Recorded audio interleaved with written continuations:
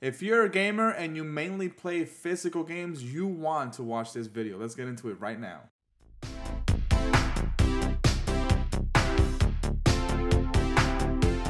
Hey guys, welcome back to PAB Games and thank you for stopping by. In this video, I want to discuss a problem that we have with the PlayStation 4. Now, we do know that the PS3 and the PSP and PS Vita stores, they basically will be shut down, so you can't buy any more digital games.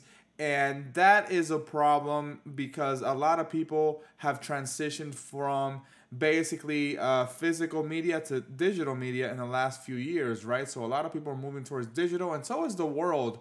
We have a lot more digital movies, like streaming movies on demand, and everything is moving towards digital stuff, right? So, of course, people want to play games digitally, have them ready whenever they want to play, like on demand, like Netflix and stuff like that, with uh, Game Pass and PlayStation Now, and just buying a digital game and having it on your PS5 or PS4 because you don't have to wait to get the disc, get it and insert it into your PlayStation and then play it or whatever. You don't have to go through that.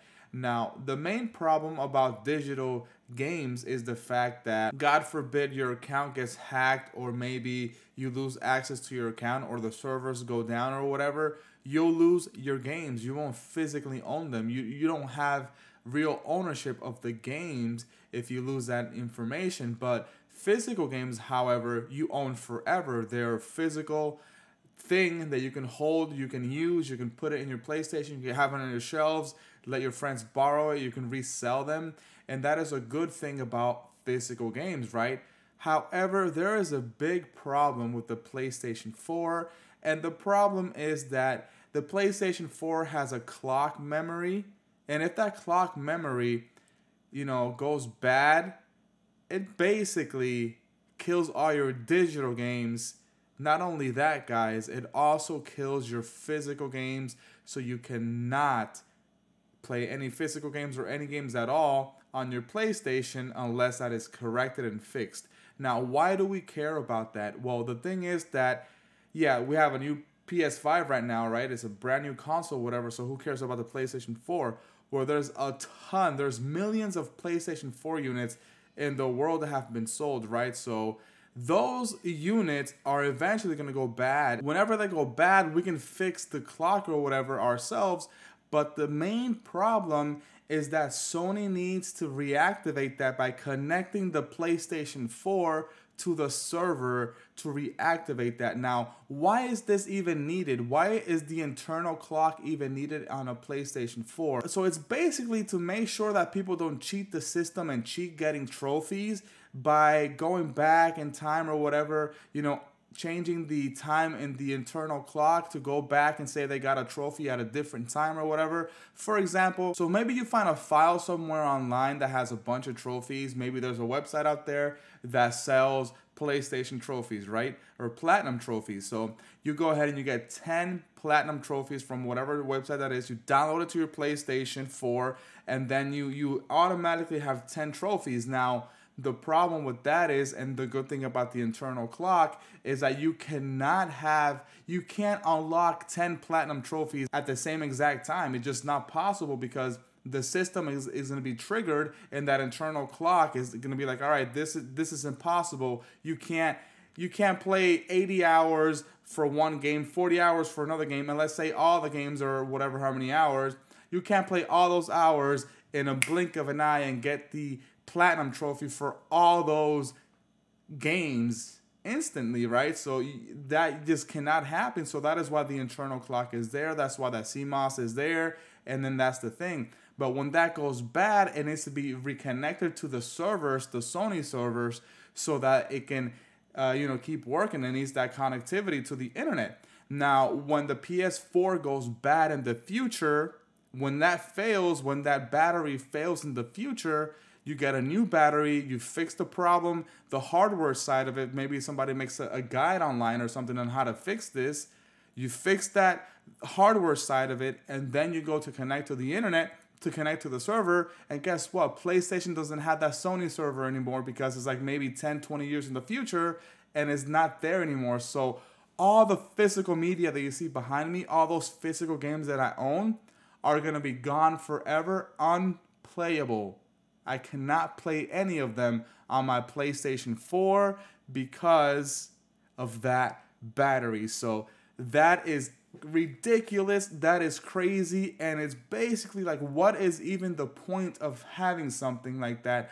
I know it deters people from cheating and stops the whole cheating of platinum stuff, but at the same time, like, that really sucks. I want to go ahead and move on to the computer so we can go look at this article. But before we do that, I want to thank Megatech Body. He's been a long time viewer of my channel. Thank you so much for letting me know about this.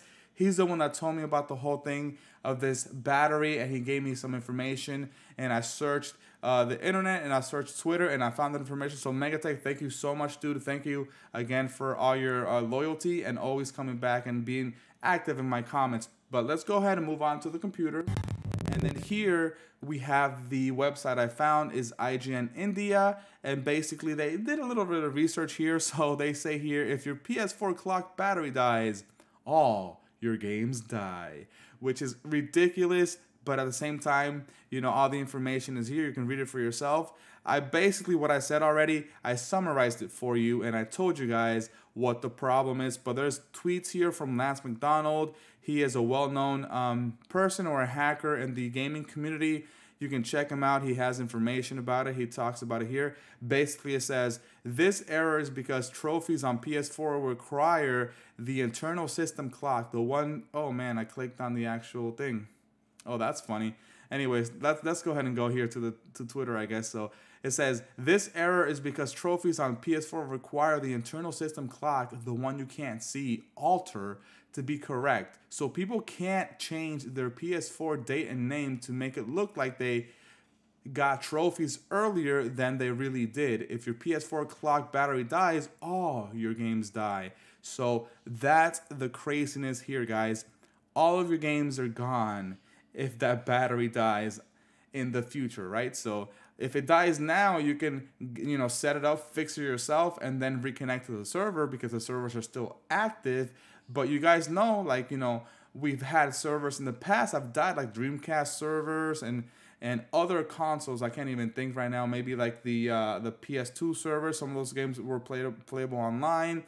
When those servers die, it, they're gone forever. You know, you can have your physical disc, but at the same time, the games cannot be playable because of this internal clock. If it goes bad, you fix it, reconnect, you cannot connect to the server to download the information and make the game playable, which is ridiculous. So a lot of people have to go, you know, a third party way or basically they have to they have to go the pirate way to get all these games pirated. They have to hack the games, they have to find the source code, they have to do all that stuff just to make sure they preserve these games. And I thought it was enough to have my games in physical format like you see behind me. I thought that was enough. I'm a huge advocate for physical media. And right now, this is horrible news. So I'm, I'm really not happy about it, guys. Let me know in the comments down below what you think about this situation. And they also go into the information here about the PS3, PSP, and PS Vita stores. Basically, those are going to be shut down, as I already said. And uh, you can't buy any more digital games. You won't be able to buy any more DLC because, yeah, it's going to be gone. And that is why I always thought that digital media was not as good as physical media because you always have your, you know, physical disc that you can play. But again, according to the PS4, if that clock dies, there's no server connectivity, it's gone forever, which is ridiculous. And uh, I'm pretty upset about that, guys. I mean, I don't know if Sony can fix that. I don't know if they have like a workaround or maybe something else is going to come out of that, guys. But if something is fixed and corrected, please let me know, Sony, because that is pretty upsetting. So that's the gist of the news here, guys. I just wanted to make sure I talked about this on my channel. Again, thank you, Megatech Body, for letting me know. I'll leave all the links in the description down below so you can check it out for yourself. Again, it's ridiculous, it's crazy, and I can't believe my physical games won't be playable in the future when the servers die and my CMOS battery dies. So I guess I have to take care of that CMOS battery, right, and make sure it doesn't ever fry.